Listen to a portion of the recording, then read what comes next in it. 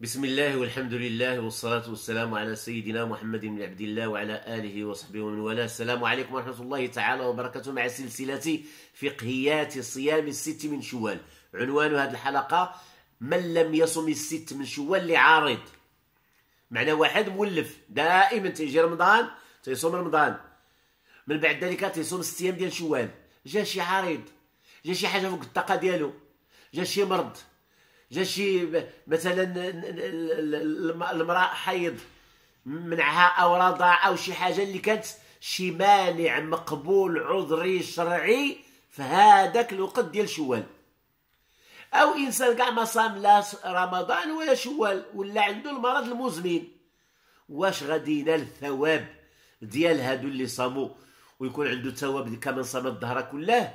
فاللي كان عنده عادة تيصوم الست من شوال في كل عام. وحصل لي عارض في أحد الأعوام من مرض أو سفر وغيرهما من العوارض المقبولة شرعا بحال المرأة النفساء أو الحامل اللي ما قداش باش غادي تصوم. فإن الله تعالى يكتب له أجر الصيام ولو لم يصم. علاش؟ لأن كان تيصوم. هادشي أنا نمثلو لكم ديال الموظف. كاين الموظف شاوش. وبقى خدام العمر ديالو هو شاوش.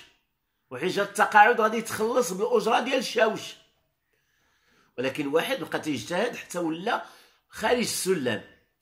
سلم 11 ولا خارج السلم. فحيت يشد التقاعد غادي يتخلص وهو جالس ما خدام ما ردام.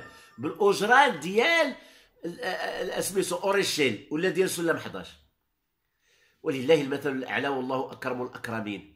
فانت كنتي تتصوم رمضان وتتصوم ست أيام ديال شوال وجا عارض بالعوارض ديال حمل ديال رضاعة ديال سفر ديال مرض وما قديش تصوم ست أيام ديال شوال.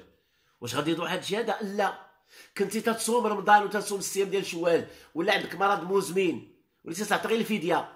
واش انت ما دخلش في هادو من صام رمضان واتبعه ستة من شوال؟ انت ما صمتيش. عطيتي الفدية. إيوا انت ما صمتي رمضان عطيتي الفدية. وست أيام شوال ما كايناش. واش عندك الثواب ديال كمن صام الظهر كلها؟ قال لك الرسول صلى الله عليه وسلم في الحديث الذي رواه البخاري إذا مرض العبد أو سافر كتب الله له ما كان يعمل صحيحا مقيما.